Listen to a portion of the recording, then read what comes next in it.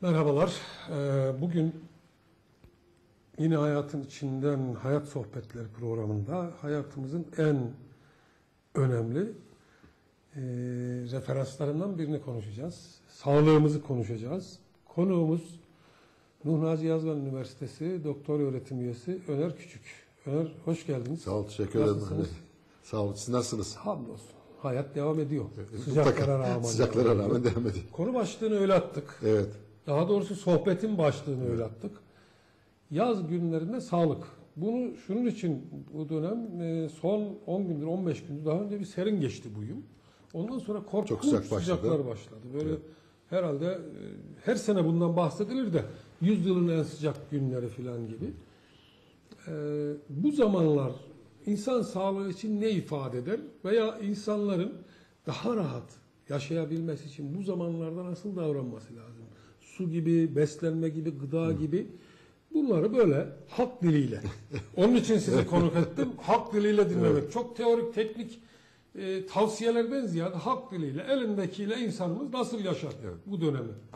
şimdi e, bir kış boyunca yazın gelmesini dört gözle bekliyoruz. Yaz gelince de acaba kış tekrar gelir mi diye gözümüz düşüyor. Yani insanoğlu böyle. Ama gerçekten Ama bu güzellik bence. kesinlikle, kesinlikle e, son zamanlarda e, iklim dengesinin bozulmasıyla dünyadaki e, ısınmayla e, paralel olarak mevsimler yer değiştirmiş ya da daha şiddetli şekilde gidiyor. Eskiden bu kadar sıcak görmediğimiz halde son e, günlerde yaşadığımız sıcaklar anormal bir sıcaklar. İnsanın e, termoregülasyon merkezi dediğimiz bir merkezi var.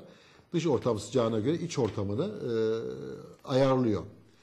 Ama e, sıcaklıklar normal daha üstüne çıktığı zaman tabii bu termoregülasyon yani ısı denge mekanizması da bozulmaya başlıyor. Bizim bu mekanizmayı bozmadan e, ufak doğal e, takviyelerle desteklememiz gerekiyor. kastınız insan vücudunun mekanizmasını kastediyorsunuz. Evet, evet. Çünkü e, bu yaz sıcaklarında e, terliyoruz. Terle beraber çok miktarda elektrolit kaybediyoruz. Asıl e, bizim yazın e, hastalarda gördüğümüz en büyük sıkıntı buradan başlıyor. E, çok miktarda elektrolit kaybediyoruz. E, susuzluğumuzu sadece suyla gideriyoruz. Bu bizim vücudumuz su açığını bir miktar kapatsa bile elektrolit imbalansı dediğimiz elektrolit dengesizliği başladığı zaman işte bu yorgunluğumuz, halsizliğimiz büyük ölçüde magnezyum kaybından.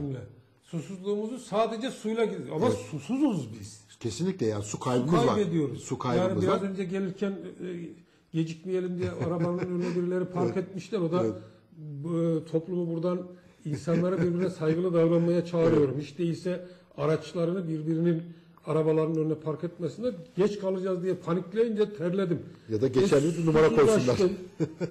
Susuzlaştım. Suyun dışında ne götürür? Tabii şimdi susuzluğumuzu en iyi su götürür. Yani su, eksik olan su mekanizmasını suyla tamamlayabiliriz. Ama bunun yanı sıra mutlaka kaybettiğimiz elektrolit açığında kapatmamız gerekiyor. Bunun pratik yollarından bir tanesi günde en azından magnezyum açısından zengin bir maden suyu içebiliriz. Meyveleri kullanabiliriz. Meyveler özellikle meyve ve sebzeler çok miktarda e, elektrolit içeriyor. E, bunlarla açığı kapatabiliriz. Suyu kapatırken de sadece e, suyla değil canlı su kullanmamız çok çok önemli. Canlı su. Canlı su. Bu yeni bir tabir nedir canlı Yok yani e, tamamlayıcı tıpta ya da e, fonksiyonel tıpta kullanılan Aynı tıp- zamanda kusura bakma bir şey yapayım. Ee, Öner Bey tamamlayıcı tıp, tam tıbbi tabiriyle alanında e, önemli uzmanlardan. estağfurullah yani evet. o konuda çalışmaya çalışıyoruz. Şehir hastanesinde ve e, devlette tamamlayıcı tıp bölümünün tam adı neydi hocam? GETAT geleneksel tamamlayıcı tıp Geleneksel tamamlayıcı tıp bölümünü kuran kurmuştuk. Evet. Bunlar halen devam ediyor. Şimdi e, içtiğimiz suyun e, moleküler olarak canlılığı bizim için çok önemli. Canlı su dediğimiz şey hücrelere daha hızlı bir şekilde nüfuz eden, hücrenin içerisine giren ve bizim susuzluğumuzu çok hızlı bir şekilde giderip vücudumuzun su dengesini sağlayan su, canlı sular oluyor. Aslında en canlı su kaynaktan çıktığı anda. Ee, siz de e, ya da deneyimleyenler biliyordur. Bir kaynak suyundan içtiğimizdeki suyun lezzeti, tadı ve bize verdiği his e, bu bardaklarla içtiğimiz suyla kıyaslanamayacak ölçüde farklı. Biz buna canlı su diyoruz. İşte şelaleden akan su, e, birbirine çarpan su, çağlayan su bunlar e, suyun canlı olmasını sağlıyor.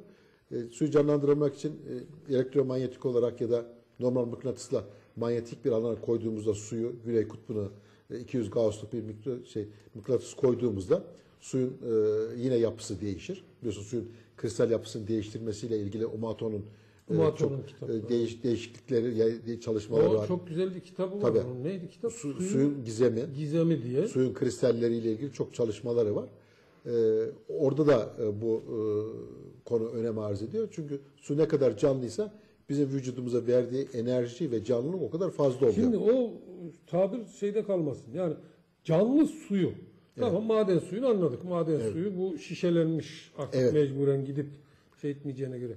Canlı suya insanımız çeşmeden akan su ben mesela hayatımda bunu çeşmeden akan suyu daha çok seviyorum. Tabii çeşmeden su akar ama çeşmeden akan suyumuz e, diğerlerine göre daha ölü bir su. Nasıl Yani ulaşabilir peki? değil. Canlı Canlı, su aslında çok kolay. E, içtiğiniz suyu çalkaladığınızda su, birbirine çarpan su molekülleri suyun canlı hale gelmesini sağlar. Bu birincisi. Hmm. İkincisi e, bir su bardağının altına 200 Gauss'luk bir mıknatısın güney kutbunu koyduğumuzda üstüne koyduğumuzda suyu 5 ila 10 dakika içerisinde su canlanır. E, çok daha basit bir şey. Çam e, çırası çam çırası atabiliriz. Mesela bir su şişesinin içerisine küçük bir çam çırası attığımızda suyun canlı olmasını sağlar. Sağlar. Mıknatıs ilgimi çekti. O zaman e, mesela e, su bardaklarımızın altında bardak altlığı kullanıyoruz ya. Evet. Bildiğiniz tablo mıknatıslar var artık. Evet. Onlar olan kupalar var. Onu kullanalım. Ben öyle bir kupa kullanıyorum. Kupa, porselen kupa. E, altında mıknatıs var. Suyu koyuyorsunuz. Üstüne işte 5 dakika sonra içtiğiniz Faydası olur mu onun hocam? kesinlikle. Yani içtiğimiz yani ölü sudan çok Canlılaştırır diyor. Canlılaştı. Çünkü ölü sudan biz şunu anlıyoruz. Suyu veriyorsunuz. Ben de ona şey diyorum yani e, da suyu e, çok miktarda aniden içildiğinde altı delik kova gibi diyorum. Yukarıdan veriyorsunuz aşağıdan çıkıyor. Dikkat edin. E, tepenize bir lit- yarım litre suyu e, şişe suyu dikin için E, 15-20 dakika sonra e, idrar olarak çıkacaktır. Bu ölü su. Bu ölü su. Yani e, ve suyu içerken de yavaş yavaş içmek lazım. Yudum yudum içmek lazım. E, açığı kapatabilmek için. E, biz hasta hastalara e, özellikle zayıflamayla ilgili gelen hastalara günde 2 litre, 2,5 litre su içmelerini öneriyoruz. Evet diyor ben diyor içiyorum diyor. İşte 5 tane 5 litrelik su alıyorum. şey, 500'lük su alıyorum. Yanıma koyuyorum diyor. Onları tepeye dikiyor, içiyor. Biz onu istemiyoruz. Yani su yavaş yavaş yudum yudum içilmeli. Hmm. E, ki Bu arada kapatalım. su tüketimini konuşmuş oluyoruz. Evet. Aslında yaz sağlığıyla da ilgili ve bütün dönem insan vücuduyla da ilgili. Tabii burada e, şunu anlatmak istiyorum. Mete şunu vurgulamakta fayda var. İşte deniyor ki e, insan 3 litre su içsin. Bu bizim suya ihtiyacımız e, mevsime, bizim yediğimiz yemeklere, metabolizma hızına göre çok farklı. Mesela beyaz peynir yemenizde kaşar peyniri yemeniz arasında fark vardır. Kaşar peyniri beyaz peynire göre 6 kat daha yoğun protein içerdiği için kaşar peyniri içtikten sonra daha çok su içmeniz gerekir. Onu vücudunuzun atabilmesi, kullanabilmesi için. İşte hani yağlı yedin e, su içiyor e, muhabbeti buradan geliyor. Yani yağlı yediğiniz o yağlı parçada daha çok suya ihtiyaç vardır. Yaz günü e, su kaybettiğimiz için daha çok su içmemiz lazım ama kışın e, su kaybetmediğimiz bir dönemde ben 3 litre su içmem gerekiyor diye 3 litre su alıp böbrekleri yormamamız Bu gerekiyor. sefer de böbrekleri Evet. yorur. Ama burada e, bizim yaş grubumuzda biraz daha üstünün e, için uyarıda bulunmak istiyorum ben. Yavaş yavaş e, işte 60 yaşına yaklaştığınca ben de bunu hissetmeye başladım.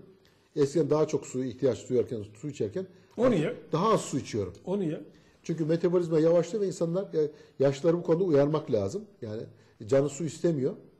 E, biz bir yaşlı insanların daha susuzluğunu daha yüksek oranda görüyoruz. Bu nedenle eğer yanımızda e, 60 yaşın üstünde insanlar varsa onları sık sık uyarmak lazım su iç diye Ben ve de ara ara su vermek lazım. Şeyin sohbetin arasında sanki şey gibi yanlış.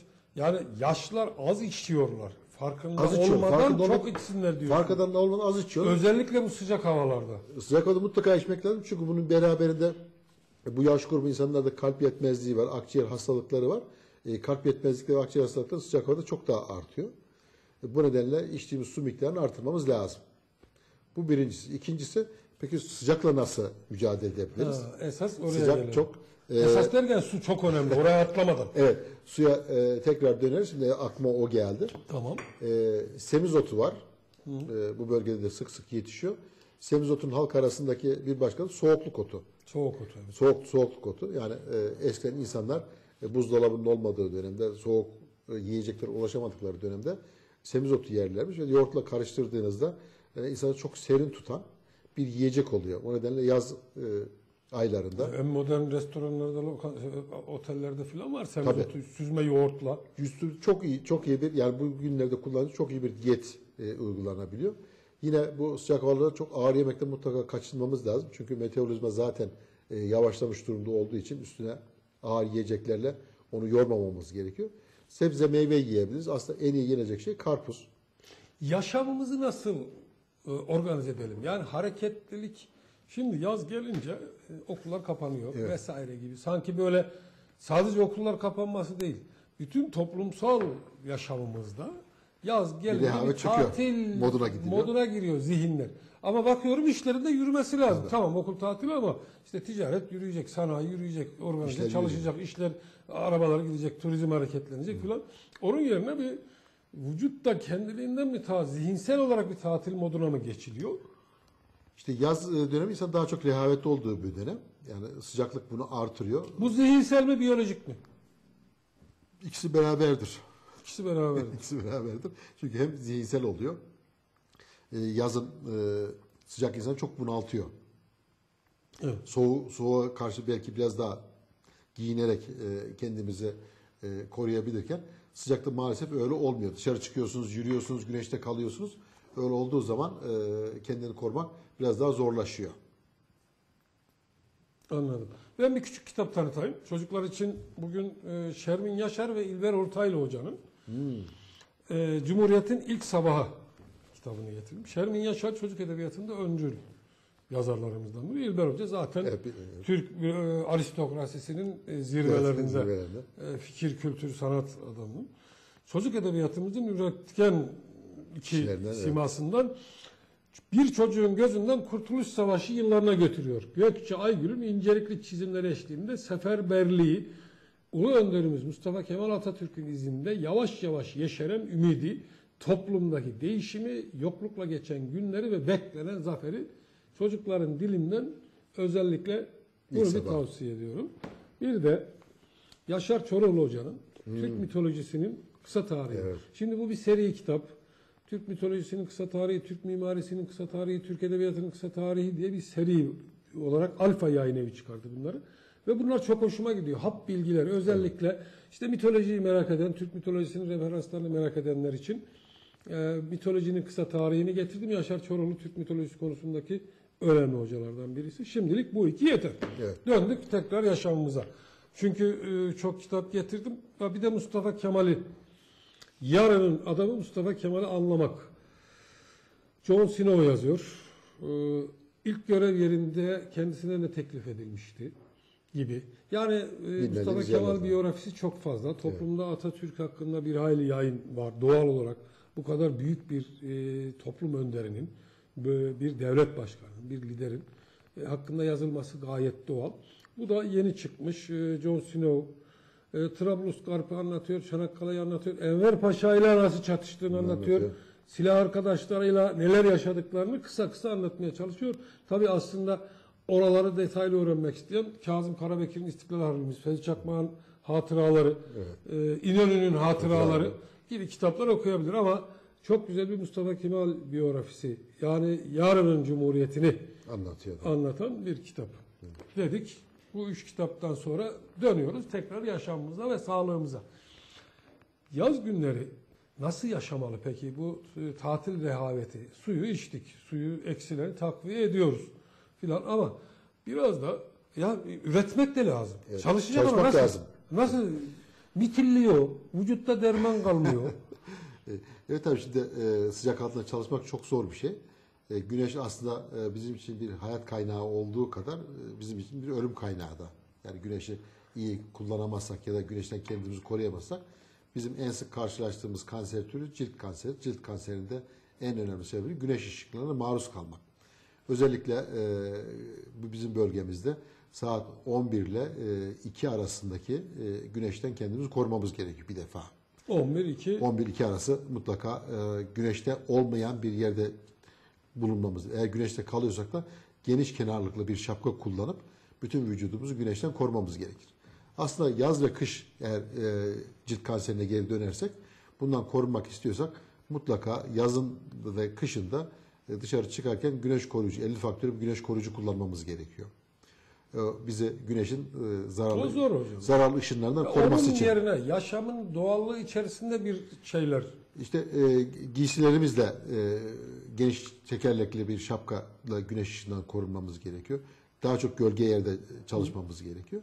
Ve bu saatler içerisinde diyelim dışarıda yürüyeceksek mutlaka e, çalışmamız gerekiyorsa e, güneşten kendimizi koruyacak şekilde çalışmalıyız. Bir şekilde tabii, gölgelememiz. Yok- Yoksa sıcak, biz çalışırken de vücut ısı üretiyor. İkisi beraber geldiğinde ısı çarpmalarından tutun da yani metabolizmanın hızlanmasına, kanamalara kadar e, yol açan hastalıklarla karşılaşabiliriz. Güneşten kendimizi korumamız gerekiyor. Yani direkt güneş ışınından korunmayı Evet. bahsediyorsunuz. Evet.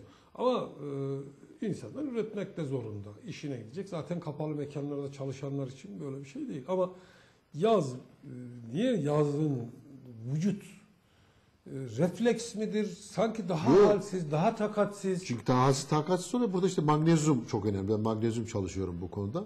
E, magnezyum kaybı bizde kas e, güçsüzlüğüyle seyrediyor. Ve yazın en çok kaybettiğimiz elektrolitlerden birisi magnezyum ve yerine koyamıyoruz. İşte e, e, konuşmanın başında söylediğimiz maden suyunu içmemizdeki, önermemizdeki en büyük nedeni de bir tanesi de o. Maden suları normal sulardan daha fazla magnezyum içeriyor. Yine e, meyveleri önermemizdeki nedenlerden bir tanesi de bu. E, yeteri kadar elektrolit e, desteğini sağlaması için özellikle magnezyum desteği için e, bizim sebze ve meyveyi ağırlıklı vermemiz lazım. Ağırlıklı ya da yememiz lazım. ekstra, ekstra magnezyum almamız lazım. Mesela biz yazları hep kramp görürüz. Yaz, Kramp niye girer? Kramp, çünkü magnezyum eksikliğinde kas kasılır ve gevşeyemez. Magnezyum, kalsiyum e, kasın kasılmasın, magnezyum kasılmış kasın gevşemesini sağlar. Hayır mesela ben sporculuk da yaptığım için uzun süre futbolda oynadığım için e, futbolcuların e, sürekli antrenman yapmaya veya e, antrenmanları eksik kalanlarında tempo yükseldiğinde kasa girer. kramp girer. Bu da magnezyumdan. Magnezyum eksikliği orada laktik asit de devreye giriyor. Laktik asit üretiliyor. Ee, kaslar çok aniden ya da antrenmansız çalıştığında laktik asit üretiliyor. Ama asıl problem magnezyumun yetersiz olması. Eğer magnezyumunuz yeterliyse bu şeyleriniz olmuyor. Yorgunluğunuz olmuyor. Yaz yorgunlukları. Mesela yaz kramplarının en büyük, gece kramplarının özellikle. Kişiler gece uykudayken ayaklarına kramp girer yazın. Sebebi budur. Magnezyumdur. Gece uykudayken Evet. kendi farkına varır. mı? Farkına varmak zaten ağrıyla uyanır. Bir ağrıyla uyanır. En büyük sebebi magnezyum eksikliği. Bu magnezyumu dışarıdan magnezyum preparatlarıyla eğer sebze ve meyveyle yerine koyamıyorsak dışarıdan koymamız lazım. Burada da ikinci bir sorunla karşı karşıyayız. Ee, bulunduğumuz coğrafyada artık e, toprakların yeteri kadar elektrolit içermemesinden dolayı e, Türkiye'de yetişen sebze ve meyvelerde yeteri kadar elektrolit yok. Topraklar yeterince elektrolit içermiyor. İçermiyor. Mag- Magnezyum çünkü Gerekçesi E, çünkü e, tarım alanlarının azalması ve birim alandan daha çok verim elde edebilmek için tarımın teşvik edilmesiyle e, topraklar gittikçe e, verimsizleşiyor. Sebebi e, yeteri kadar e, mineral madde içermemesi. Toprak yeteri kadar mineral içermiyorsa verdiği meyve de içermiyor.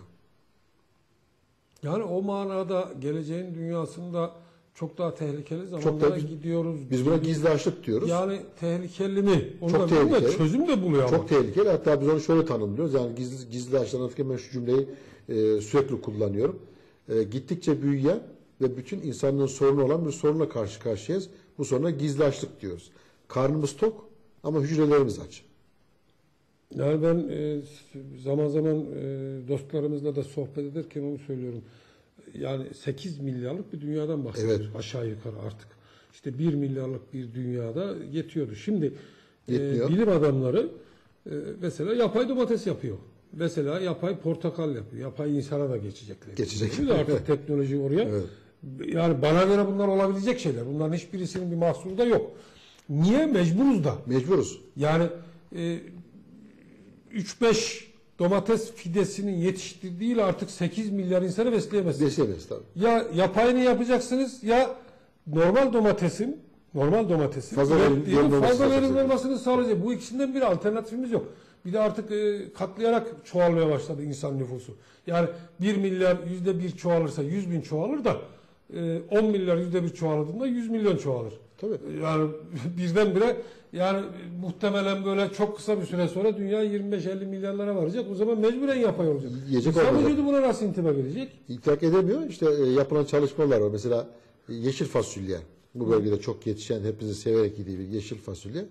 E, son 20 yılda içerisinde B12 %200 azalmış. Yeşil fasulye. Yeşil fasulye B12 azalmış. Yüzde 200 azalmış. Evet. Bu ya çalışma yaptıkça gittikçe e, daha fazla azalmalar yani yıllar ilerledikçe daha azaldığını göreceğiz. Verim artırılabiliyor ama e, bileşimleri maalesef aynı şeyde verimli olmuyor. Demin semizotundan bahsettiniz mesela se- e, serinlik So- soğuk otu. soğukluk otu, soğukluk otu dediğiniz. Ee, geçen hafta bir semizotu şey ettik. Çocukluğumda yediğim semizotu değil. Tabii.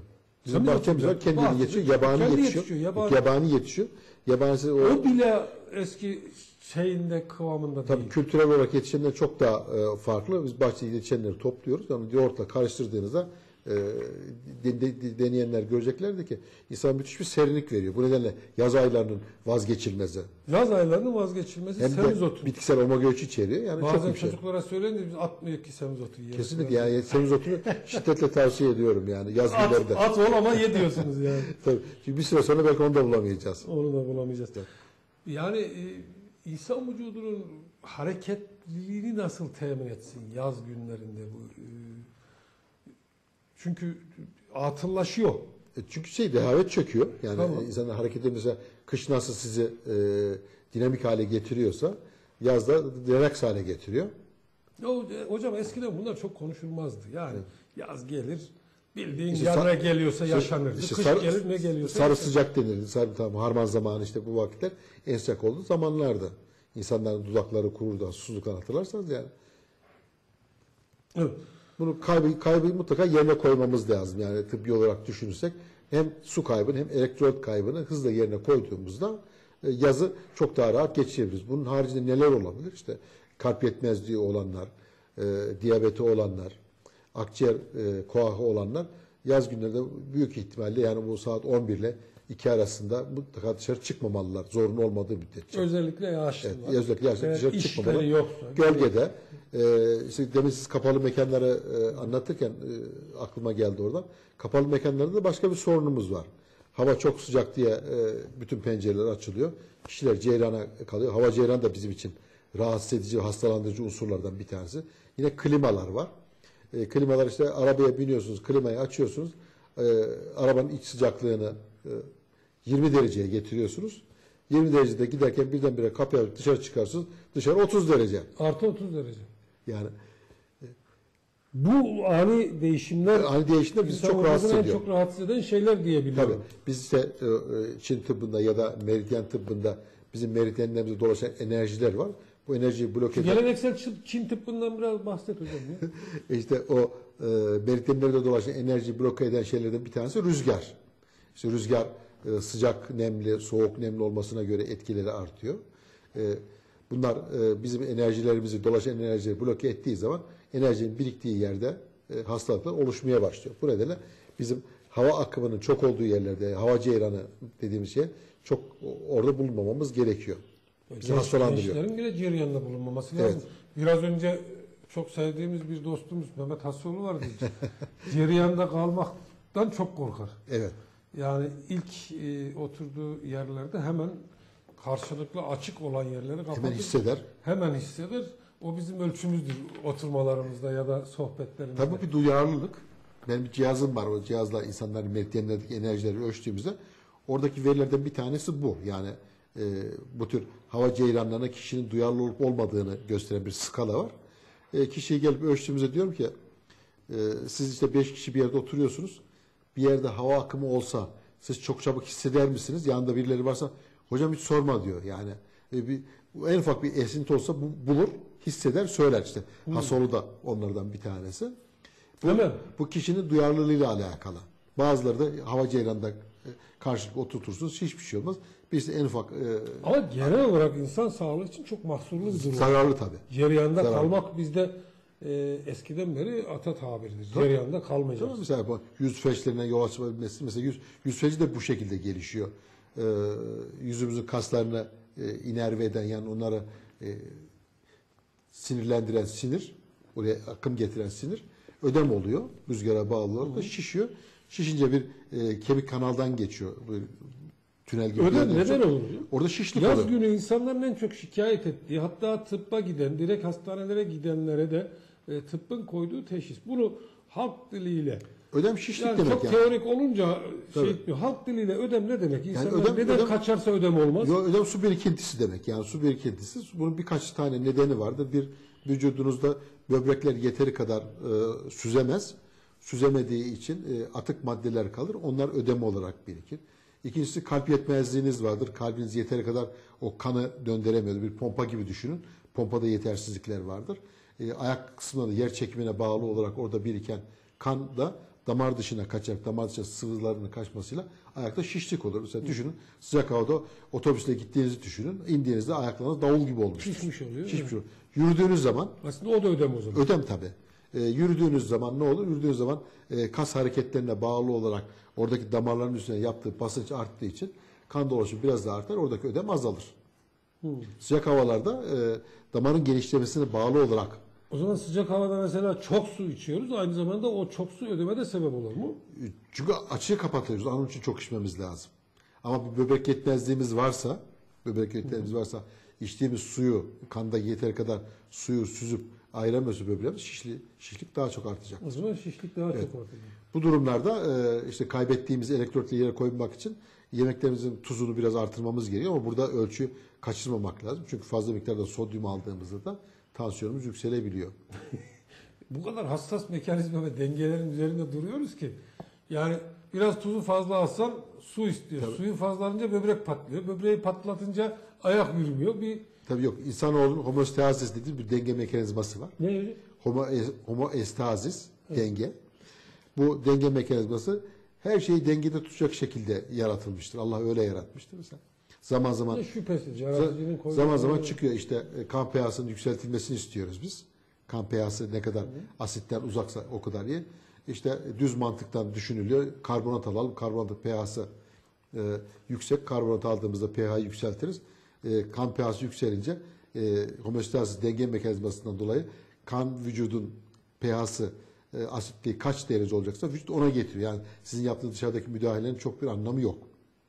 Onun için mesela biz fazla miktarda sodyum almışsak, tuz almışsak vücut onu atma yoluna gidiyor. Vücut O- zaten o fazlalıkları kendisi atıyor, Atıyor, bir şekilde. atıyor. Ter olarak atıyor, idrar olarak Yani atıyor. e, teri şöyle düşünün. e, Şimdi diyelim ki e, 100 gram terlediniz. 100 gram su içerek bunu yerine koyamazsınız. Çünkü e, onunla beraber su kayıpları, e, ısı, e, o terleyebilmek için vücutta üretilen enerji hepsini hesaplarsak çok çok daha fazla miktarda su yerine koymamız yani gerekiyor. terledim biraz su içeyim dediğimizde içtiğimiz su terde kaybettiğimiz değerleri tekrar yerine getirmiyor. Getirmiyor. Bir Ama de- bir çöz geçici bir Tabii bir de şu- bir takviye. şunu söylemek lazım. Mesela yazın hani herkes soğuk su içme peşinde. Yani suyu soğuk içmemek lazım. Çinliler vücut ısısının dışındaki derecedeki suyu genelde içmezler. Hiçbir şeyin soğuğu aslında soğuğunu çok tavsiye etmiyor. Tabii. Bir yanlışım Evet. yoksa yani Evet. işte karpuz yiyeceksiniz buz gibi karpuz. Yok, Yok, yok. bu çok faydalı bir şey değil. Normal yenebilecek. Çünkü vücut ısımız iç, iç ısımız 37-38 derece. Yani bu sıcaklıkta olması lazım. Yedi- Yediğimizin ve içtiğimizin. Yediğimizin, içtiğimizin. Mesela çay niye? Çay iyi oluyor. Çok önemli bir şey söyledin. Evet. Yediğimiz içtiğimiz nesnelerin Evet. vücut iç ısımız olan 37 derece civarında olması. civarda olması en ideali. İdeal ama, ama, biz dondurma yiyoruz. ama dondurma yiyoruz. ama dondurmayı da yer yemez tekrar susuyoruz. E, tabii. Buz gibi geliyor. O niye? E, İşte oradaki biz şeyi e, müdahale ediyoruz.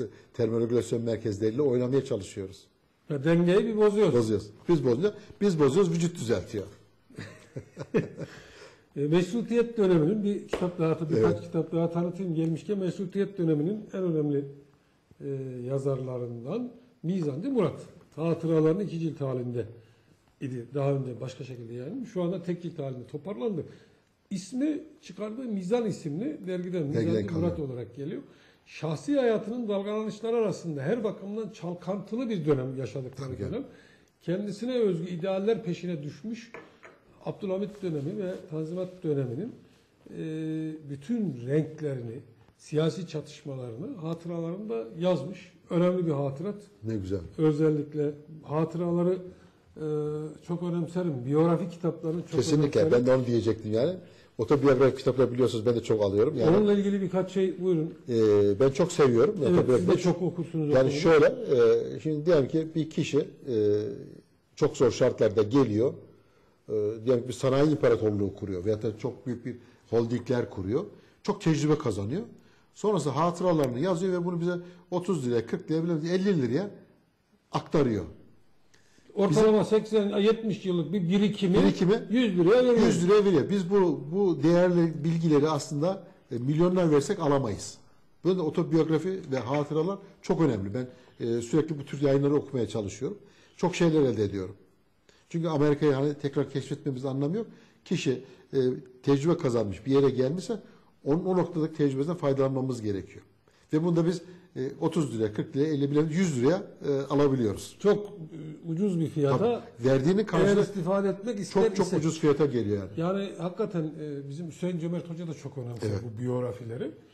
E, biyografiler bu bakımdan bakın ben çok severek okurum biyografileri ama otobiyografileri, biyografileri e, sizin söylediğiniz başka çok güzel bir alan. Çok ucuz bir fiyata büyük bir tecrübe Büyük satın tecrübe alabiliyoruz tabii. E, tavsiye ediyorsunuz ama bazen okuyucu böyle şey bakabiliyor.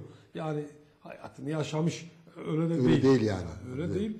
Biyografileri bu bakımdan önemsiyorum. Çok önemli. Mesela buna benzer Selahattin Yusuf İsmet Özel'i Hmm. yazmış. İsmet Özel Türk şiirinde ve e, Türk e, fikir hayatında önemli e, insanlardan birisi. İsmet Özel'in bir entelektüel olarak portresini küçük bir kitapçık olarak eline sağlık Selahattin Yusuf'un bu kitabında tanıtmış olalım. Şimdi hayatımızın bir kitap daha söyleyeyim. Bunu ben e, bu tür kitapları önemsiyorum. Nesnelerin minyatür tarihi. Hayatımızda işte deminden beri yiyecekleri bahsediyoruz. Bir de hayatımızda nesneler var. Evet. Neler var? Mesela burada koltuk var, bıçkı var, idare lambası var. Nasıl bulundu, Ee, nasıl oldu? Bunlar hayatımızın neresinde? Niye Evet. bu isim? Sadaklar var. Evet. Ee, tırpan var. Mesela hatta şu anda işte o zaman bunlar vardı. Arabalar var. Evet. Motosiklet var, bisiklet var. Bunların kısa kısa tarihle Evet. şeyle ilgili Şeyma Üstün bunu yazmış. Bunu da böyle bir tanıtmış olalım. Peki e, bir ay sonra bitecek bu yaz. Evet. Ne kadar sürecek? O zaman kış gelecek. Yani Tekrar kış gelecek. Şey bozuluyor. Yani denge, de- denge bozulduğu için eskiden bizim çocukluğumuzu hatırlarsa bahar diye bir mevsim vardı. İlkbahar. İlkbaharda e, biz ilkbahar görmüyoruz uzun yıldır. Yani Şimdi sonbahar görmeyeceğiz. Birdenbire e, yazdan hızlı bir kışa geçiş oluyor. Evet. Geçen e, geçen hafta hatırlarsınız e, hava birdenbire soğudu. Ben o gün sabah kaloriferi açtım. Arabanın kaloriferini açtım. Öğleden klimayı açtım. Akşam e, battaniyeyle Battaniye. kullandık. Yani hepsi aynı gün içerisinde olabiliyor. Maalesef Bu dünya kadar bozuldu mu ki? bozuluyor. Yani denge gittikçe bozuluyor. Çünkü Bizim çocukluğumuzu düşünün. Mevsimleri mevsimde yaşadık. Yaz olurdu. Yaz gibi yaz olurdu. Kış kış gibi oldu. Kar Ya- yağardı, kalkmazdı. Uzun yıllardan sonra ilk defa bu sene ilkbahar yaşadık gibi Evet. geldi bana. O da işte yağmurlar geldi, Yok, tam yağmurlar e, ilkbaharda değil de Bu sefer Haziran'a de, kaydı. Bu sefer de yaza kaydı. Yaza kaydı. Yani bu iklim bu kadar değişince insan vücudu ne yapsın ki buna? Buna uyum sağlamak çok zorlanıyor. Sadece bizde ki doğa böyle. İşte arılar e, uyuyamadı, ayılar uyuyamadı. Yani Evet geçen onunla ilgili Tabii, şeyler var. bütün bütün doğa doğanın dengesi değişiyor yani. Yani Bu bir, bütün vücut bizim insan vücudunu da etkiliyor tabii ki. Buna nasıl intibak edecek ki insanoğlu hem yiyecek olarak bak deminden beri İşimiz gittikçe konuştuk, zorlaşıyor. Teknolojiyi konuştuk. Evet. Şimdi iklimleri mecburen içerisinde zaten konuşuyoruz ve bunların hepsi e, çok aşağı yukarı işte 2000 2000 yıllık bir bildiğimiz tarih var. Evet. 2023'e giriyoruz. 2000 yıllık bir tarih. Geçtiğimiz süreçlerde çok yavaş bir tempoda gelişirken son Şimdi hızlandı. 30-40 yıldır çok hızlı. Çok değişiyor. hızlı. Evet. Her şeyimiz çok hızlı Tabii. değişiyor. Yiyecek kültürümüz çok hızlı Tabii. değişiyor. Yani ben e, 90'lı yıllarda İstanbul'a, 80'li yılların sonunda İstanbul'a gittiğimde filan e, işte e, mesela profiterol diye bir tatlı Evet. var. Yedin mi? Hiç duymadım. Hele hele biz Kayseri'de profiterol diye bir tatlı yiyorlar. Biz buradan tuluma tatlısı biliriz, baklava biliriz. Baklava bize. Yani böyle bir tatlı değişimi götürdüler Beyoğlu'nda bir profiterol. Baktım bildiğin çikolatalı ekmek. Bana göre. Bana göre de. yani. Şimdi öyle bir değişim yaşanıyor. Şimdi çocuklar işte gidiyorlar kafeteryalarda farklı Tabii. farklı yiyecekler. Çünkü hızlı bir Peki bu değişim değişime var. bu kadar endüstriyel yeme insan vücudu nasıl intibak edecek? Ee, çok iyi intibak etmiyor. Çünkü e, her bölgenin, her bölge insanın kendisini geliştirmiş olduğu bir bağırsak florası var. Mikrobiyolojik açıdan bakarsak. Bu flora e, oluşturan etkenlerden en önemli etkeni o bölgede yetişen yiyecekler. Onlar flora oluşmasına etken oluyor. Siz sonra o floraya uygun olmayan bir yiyecek maddesiyle insanı tanıştırdığınızda florada dengesizlikler olmaya başlıyor. Biz e, şu anda gördüğümüz 10 hastanın 9'un bağırsak florası iyi değil. 10 hastanın 9'unun. Tabii. Çünkü aslında e, tedavide aslında bizim işimizi şöyle kolaylaştırıyor. Biz hastanın bağırsak florasını düzeltmeye başladığımızda hastayı bize getiren nedenlerin çoğu ortadan kalkıyor. Bağırsak florası dediğiniz şey bağırsağın doğal yapısı. Bağırsağın içerisindeki bakterilerin, yaşayan bakterilerin cinsi, sayısı ve türü. Bir de coğrafyanın florasından bahsediyoruz anlaşılsın diye. Evet. Mesela şimdi diyelim ki bir Ege bölgesindeki insanın bağırsak florasıyla Doğu Anadolu'daki insanın bağırsak florası birbirinden farklı olduğu gibi işte Afrika'daki yaşayan bir zencinin florasıyla Sibirya'da yaşayan bir Eskimo'nun ya da o bölgede yaşayan bir insan bağırsak florası birbirinden farklı. Kesinlikle farklıdır çünkü Akdeniz şey Ege Akdeniz'de sebze ağırlıklı beslenir. o et ağırlıklı. Doğumdan itibaren Tabii. E, Doğu, e, Güneydoğu'da Doğu'da et ağırlıklı. Maalesef İç Anadolu'da. Kayseri'de de hamur ağırlıklı. Tabii. Tahıl ağırlıklı. Evet. Yani Onun için doğal olarak Flo- farklı. Flora değişiyor. Bu floradaki değişiklikler bizim işte hastalıkların, rahatsızlıkların en büyük kaynağını bunlar oluşturuyor. İşte görmediğimiz kadar alerji görüyoruz. Kronik enflamatör hastalıklarda bir artış var. MS dediğimiz, romatoid artrit dediğimiz, sedef. Ee, bunlar gittikçe artıyor. Eskiden daha az görürken. Eskiden çok bildiğimiz hastalıklar mesela. Çekilirken yavaş yavaş piyasadan yerine yeni Yeni hastalıklar. hastalıklar çıkıyor. Mesela biz e, şu alerjiyle başlıyoruz. Herkes, herkesin bir şeye alerjisi var. Yeni doğan çocuklar. O niye? e, çünkü flora bozuldu. Vücut ve bağırsak florası. Flora bozuldu. Florayı yerine yani bağırsak florasını yerine ne kadar hızlı getirirsek e, kişinin rahatsızlığı o kadar çabuk düzeliyor. Burada işte prebiyotik bakteriler var, probiyotik bakteriler var. Onların sayısını artırmamız gerekiyor. Mesela probiyotik bakteriler dediğimiz şey, yoğurtta olan bakteriler, laktobasiller. Prebiyotikler de onları besleyen lifli. Yoğurdumuz lifli doğal gıdalar. değil ki. Değil artık. Eskiden herkes kendi çalıyordu. Yani e, mesela turşu vardı, tarhana mesela e, tarhana yani dört mevsim yiyebileceğimiz bizim için en faydalı yiyeceklerden bir tanesiydi tarhana. Şimdi kaç evde tarhana yapılabiliyor? Yapılan, kullanılıyor. Yoğurtlu çorba yapılıyor. Yani e, mesela yaz yaz yiyeceklerin en önemlisi işte soğuk çorba dediğimiz yoğurda e, açlığın katılması ya da nohutun katılması. En güzel e, yiyecek mesela nane mideye e, rahatlık veren ve serinlik veren yiyecek grupları. E bunların hepsi hemen hemen yavaş yavaş çekiliyor. Çekiliyor. Endüstriyel yiyeceğe Çekiliyor. Onun yerine ne yapıyor? İşte e, E Şimdi endüstriyel yiyecekler bu kadar vücudun dengesini bozunca bu vücut ne yapsın? yapmıyor işte. Ben olsam ben de isyan ederim. Çocuğunuza söyle, sorun. Herkes çocuğuna sorsun işte. Bugün sen, sana soğuk çorba mı var? Hamburger mi dediğimizde hamburger diyecektir. Direkt hamburger diyecek. Yani Yani bu söylediklerimiz bir hamburgere ya da şuna buna muhaliflik olarak Değil tabii. Değil. yani ama Ee, e, hiçbir şeye muhaliflik veya yandaşlık değil ama Evet. insan vücudunun da doğal florası, doğal, doğal- yapısı var. Yapısını korumak lazım. Mesela e, tarhana bunun için en önemli gıdalardan bir tanesi. Eski insanlar hep tarhana yermiş. Fermentasyon ürünleri. Valla yani e, biz çocukken e, süzme yoğurt, Evet. çölme, Bek- bekle. şu küpe basılır. Süzek. İçine sü- süzme yoğurt konur. Evet. içine yarması, Tabii. e, işte nanesi, kuru nanesi falan konur. Oradan çıkarılıp tarhana çorbası yapılırdı. Isıtılıp da çorba haline getirildi. Tabii. Tarhana Kurutuldu. çorbasının yöresel şeyleri Tabii, var. tabii. Mesela kısmı Ege'de toz olur yani. yani tozlu var. O da aynı. O da Evet. güneşte kurutulmuş. Tabii güneşte kurutuluyor. Yoğurtta. Ama şimdiki gibi endüstriyel e, tabii. tekniklerle yapılan şeyler değil bunların hiçbirisi. Aslında tarhananın bizim için yani bir mikrobiyoloji açısından en önemli kısmı fermentasyona uğramış bir gıda olması. Yani Bizim bağırsağımızda Mesela bugünkü yoğurtlu Doğru. çorba o tarhananın yerini tutar mı? yer yarıya tutar. Ya, yer yer yer tutar. Ehveni şer diyoruz ya. Bu arada başka literatüre de girmiş. evet, Yani eh- işte. ehveni şer yani. Bu, bu, bu ortamda onu yemek bizim için faydalı. Peki tatlı benim çok sevdiğim bitki. tatlı e, olarak yani şekerli, hamurlu tatlılardan daha ziyade meyveyle e, bu işi geçiştirmek lazım. Meyvenin tatlısı mı olur hocam? Ya meyve meyve Tabii burada bir, bir şey daha uyar, Tatlı dediğim baklavayı böyle alacaksın. öyle olmuyor. Ee, bir şey daha uyarmak istiyorum. Meyvelerin içerisinde fruktoz dediğimiz bir meyve şekeri var. Fruktozun fazlası da bizim için zararlı. Yani ölçüyü kaçırmamak lazım. Meyve yerken bile ölçüp Evet. kaçırmıyor. İşte diyelim ki e, bir kavun oturduğunuzda bir kavunu yemektense bir dilimi yiyip e, orada durmamız O kadar- lazım. O kadar da değil tabii. Yine e, yeri gelmişken söyleyeyim. Karpuz e, yazın en güzel yiyebileceğimiz yiyeceklerden bir tanesi. Karpuza e, hem çok severiz hem de e, bazı büyüklerimiz e, ota faydasız çiriş gibi böyle anlamsız bir meyve diye bakarlar. Yok yok karpuz çok faydalı. Hatta kabuğundan e, biz şimdi şey için kullanıyoruz. Esas bir şey sorayım mı? Kusura bakma lafını kestin de. Bu meyvelerin kabukları filan hep e, hep atılır.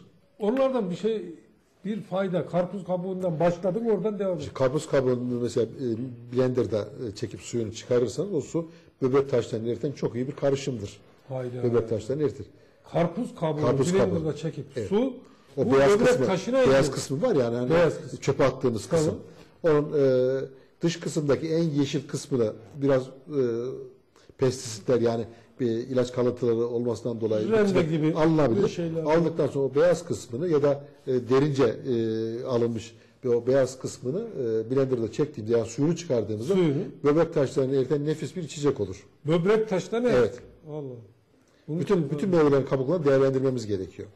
Valla bazen e, şey geliyor yani e, mesela portakal kabuğunu biz çocuk Kabuk, çekirdek yani hiçbir şeyin araya vermememiz lazım. Mesela çekirdekler müthiş enerji yüklüdür. Valla e, Öner Hocam öyle bir şeye geldik ki şimdi artık zaten yetmemesinden dolayı Evet. veya insan vücudunun dengesinin bozulmasından dolayı e, üretimin artık ihtiyacı cevaplamamasından dolayı artık e, gıda türü şeylerin hiçbirini araya vermiyoruz. Mutlaka değerlendirmek. Bakın yani ben çocukluğumda çocukluğumuzu da geç çok kısa süreler öncesine kadar hayvanların birçok şeyini pestventiye çıkarırdık. Tamam. Şu an zerresine kadar kullanıyoruz. Kullanıyor. Herhalde hayvanlar bile isyan ediyordur. Ya bu kadar da değil yani diye. Yani kasaplara gidin hayvanın her şeyi satıyor. Değerlendiriliyor. Evet. Doğru mu? Doğrusu bu. Do- Doğrusu tabii ki. Bitkide Bitkide de doğru. bu. Bitkide Bitkide de doğru. bu. Mesela e, hiçbir şey yapamıyorsanız eğer bahçeniz varsa e, onları bahçenizde bir yere gömdüğünüzde mesela meyve kabuklarını e, yani karpuz kabuğu da dahil buna gömdüğünüzde bir süre sonra o orada e, organik olarak bozuluyor ve çok iyi bir Ya bahçe zaten gübre. eskiden oluyordu. Yani Gübre. araya gidiyor deyip de Tabii. e, uzaya falan çıkmıyor. Yani meyvenin, sebzenin yenmeyenleri illaki doğaya atılıyor. Tabii doğaya atılıyor. Orada kendiliğinden Gömdüğünüzde ferment mesela şey toprağa olup gömdüğü olsa gübre, toprağı gübrelemiş oluyor. gübreleşiyordu ama artık insan toprağa vermeye kıyamıyor Tabii. çünkü e, istifade edebileceğinin maksimumunu. Bir de şey oluyor yani yeni gelen yani yeni yapılan çalışmalar işte e, karpuz kabuğunun içerisinde sitrulinde bir madde var. E, Birçok şeye iyi geliyor. Bunlar biyo, biyokimyasal olarak bulundukça e, meyvelerin değeri daha iyi anlaşılıyor. Ağzına sağlık. Şimdi ben birkaç kitap daha getirdim. Önemli birkaç kitap var. Bir de bir şey söyleyeyim. Bizim rahmetli e, Lokantacılar Odası eski başkanı Mehmet Dinçer Dinçer vardı. Loka, siz de tanırsınız. Evet, evet. Öğrencilerinizde çok sık Tabii. lokantasına gidilirdi. E, Lokantacılar Odası başkanı iken lokantacılara yemin etti. Yemin ettirdi. Kendi yemeyeceğim yemeği müşterilerime vermeyeceğime diye başlayan uzun Evet, bir yemin. yemini verdi. E, Yemin e, çok hoşuma giderdi yani. E, nefis bir şeydi. Ben e, seyircilerimizden özür dileyerek bugün elime geçen bir kitap çok ilgimi çekti. Henüz okumadığım, ye, okumadığım kitabı tavsiye Tavsiye etmiş etmem. olacağım ama e, böyle bir şey. Gödel Eşer Bah. Bah. Kitabın adı Tuğla gibi bir kitap. evet. Ama e, enteresan başlıklar var. Bir ebedi Gökçe Belik diyor kitabın adına yazarı. Sibernetik, yapay zeka, bilgisayarlarla içli dışlı herkesin kutsal kitabı diyor. Ya ilgimi çekti. Götürüp hemen okuyacağım. Felsefe, psikoloji, karşılaştırma edebiyatı, bilim tarihi ve bilim felsefesi ve bilgisayar bilimleri üzerine ve müzik üzerine Her şey var. felsefenin yapıldığı zannedersem Göder Eşer Bah biri müzisyen biri felsefeci biri e, şeyci Tabii yani ismen ilgimi çekti. Mehmet Bey rahmetle yad ederek okumadığım bir kitabı tavsiye etmek üzere ilk defa burada böyle bir şey gösteriyor. Artık farz ol hemen okunacak. Artık e, ilgisini çeker diye düşünüyorum. John Albert Wall'un Ekin yayınlarından çıkan İslam Süreklilik ve Değişim isimli bir kitabını getirdim. İslam günümüz dünyasında faal bir güçtür. İslam günümüz dünyasında faal bir güçtür. 1980'lerde bir başka ifadeyle Hicri 15. yüzyılın başında İslami ihya hareketleri gözle görülür bir ivme kazandı diye devam ediyor. Ediyor. Böyle güzel bir çalışma olduğunu biliyorum, okudum. Bunu okudum ama yani. Ercan Kesal'ın yeni çıkan kitabı Hekimlik Sanatı Hmm. sizi ilgilendiriyor. Bu Ercan Kesal televizyon sanatçısı. Aynı zamanda dizi ve e, eski tabirle artist. Ama e, iyi bir, değerli bir hem yazar hem artist. Hayatımızın içinden öyküler. Avanoslu. Öyle bir kitap tanıttım. Sedat Anar'ın ses, nefes ve müziğini getirdim. Santür Üstadı Sedat Anar. Bizim müzik e, aletlerimizden birisi. Besteci, yazar, ses, nefes, müzik başlığı altında farklı alanlardan 18 ismin müziğe dair yazılarını bir araya getiriyor. Bu bir derleme olmuş. Ee, ve kitabın bittiği Türk mimarisini Kısa tarih. en azından depremlerle de ilgili bu da Türk mimarisinin kısa tarihi diyeyim. Bunu bitireyim. Kitap tanıtımını bitirdik. Şimdi geleneksel Çin tıbbı dedik demin yarım kaldı. Evet. Kısaca bir geleneksel Türk tıbbı alayım. Türk tıp tarihi nedir? Şimdi, Nereden başlar, nereye gelir? Ee, aslında geleneksel Çin tıbbı diyoruz ama e, mesela akupunktur hep Çinliler buldu diye bahsedilmesine rağmen e, akupunkturun Uygur Türkleri tarafından bulunduğuyla ilgili güçlü tarihsel kanık Akupunktur akupunktur uygulaması ilk defa Uygur Türkleri tarafından yapıldığı ile ilgili güçlü e, kanıtlar bulunuyor yeni. E, eski Türklerdeki tıbbi uygulamalar birçoğunu biz şimdi günümüzde uyguluyoruz. İşte mizaç uygulaması olsun, akupunktur olsun, yine e, enerji vermeler olsun. E, bunlar e, geleneksel tamamlayıcı tıbbın ana unsurlarının birleri. Biz bunları aslında eskiden halka e, birbirine anlatırken, anlatırken, elden ele geçerken e, son e, 100 yılda, 150 yılda bir kesintiye uğramış. Keşke o, biz şu andaki bilincimiz o zaman olsa da kesintiye uğramasaydı. E, onlardan çok şeyler öğreniyoruz. Yani bizim şu anda geleneksel Çin tıbbı dediğimiz şeyin büyük bir kısmı geleneksel Türk tıbbı. aslında Türk, Türk tıbbı. tıbbı, evet. Kamlar, otacılar. O Yani Kesinlikle. Ee, biraz mecburen ideolojikle takılacağım. Böyle e, Türk tarihini, Türk geçmişini işte çadırda yaşadı, e, bozkırda yaşadı, atın üstünde yaşadı falan da yani orada da e, yine e, yaşamıyla ilgili, sağlığıyla ilgili, yaşamı idame ettirmeyle ilgili ihtiyaçları neyse bunları en üst seviyede görmesi lazım ki, Ki yürüsün. 3000 yıllık bir tarihte medeniyetini ve kültürünü Devam yaşatabilen, devam ettirebilen bir ulus. Bunun geleneksel Türk tıbbı illaki vardır. Var. Çünkü mesela biz şimdi enerji tıbbı ile çalışıyoruz. Yani enerji uygulamalarıyla Esas çalışıyoruz. oralar mıydı eskiden acaba? Evet. Şimdi e, bu enerji tıbbını bilmeden veya enerji tıbbına girmeden anlatılan şeyler bazen havada kalıyor. İşte diyelim ki bir şaman sizin geçmişinizle ilgili size bir bilgi veriyor. Diyorsunuz ki işte bu büyücüdür. bilmem. Şu anda biz biliyoruz ki artık hem bilinçaltı çalışma hem enerji çalışmalarıyla bunlar artık biz de yapabiliyoruz. Yani biz aslında e, şu anda bizim işimizi üstümüze düşen görev geleneksel ve tıp e, dünyası olarak bu e, bize atalarımızdan gelen bir önceki tedavi yöntemlerinin bilimsel temellerini oluşturmak. Bu nedenle işte e, bilimsel yayınlar yapıyoruz, çalışmalar yapıyoruz, araştırmalar yapıyoruz ve Sağlık Bakanlığı Geleneksel Tamamlayıcı Tıp Dairesi diye bir daire başkanlığı var. Onun başkanlığında bu çalışmalar yapılıyor ve bilim nasıl olduğunu şu anda biz çözüyoruz. Anlayamadığımız şeyleri e, e, biz bilimsel olarak gösterdiğimizde herkes bunun yapılabileceğini, olabileceğini görüyor. İyi, son olarak da böyle bir Evet. geleneksel Türk tıbbı şey bir hemen vurgulayayım orayı. E, şamanlık e, bir sahtekarlık, bir dolandırıcılık, bir büyücülük falan Değil. değil. Ayrı bir iş yani. Aynı Biz- zamanda tıbbın da bir alanı o zamanki. Biz şimdi onu enerji enerji tıbbı uygulamalarıyla e, da onları, şamanlardan alıyoruz. onları daha iyi ne yaptıklarını şimdi çözebiliyor. Ne yaptıklarını şimdi anlayabiliyoruz. Ama dışarıdan bakan biri sadece böyle misyon olarak görselinde e, Diyelim ki o davulun ritmi, ondan sonra oradaki e, Türk tedavi tıp şey- musikisi şey- var. hepsi, hepsi birbirinden Bunlar- şimdi neler olduğunu anlıyoruz. Eskiden biz davul çalınıyormuş gibi düşünürken şimdi o davuldaki e, notalar, e, tınılar, frekanslar çok şeyler ifade ediyor. Bir kişi daha anarak geçeyim. Bizim Hüseyin Cömert Hoca der ki Türk musikisi atın yürüme ve koşma ritmine uygun Uygundur. bir ritimdir. Tabii. Dört nal ritmi, işte ehve, e, rahvan ritmi hep atın üzerinde yaşadığımız için bizim musikimiz Hüseyin Hocamla bir iki hafta sonra tekrar burada bu konuda konuşacağım. Türk musikisini filan. E, atın ritmi neyse bizim müziğimizin ritmi odur. Aynı zamanda benim anladığım vücudumuzun ritmi de o. Kesinlikle o. Mesela biz homeopati yapıyoruz. Homeopatide şöyle bir remedi var. Ee, e, biz buna Türklere en uygun remedi diyoruz. Ee, Türkler e, havadar bir yer olacak. Bakın dikkat edin evlerin hepsinde geniş bir tane balkon vardır, veranda vardır. O rüzgar kendine vuracak, yüzüne vuracak. Evet. Sebebi ataların at üstüne gidiyor olması. Gönlün güzel olsun. Son varsa kapatacağız. sağ ol. Ee, Vaktimizi açtık. herkese sağlıklı, güzel günler diliyorum. Sağlıklı, güzel günler, gelecekler, ülkeler ve coğrafyalar. Hoşça kalın, esen kalın.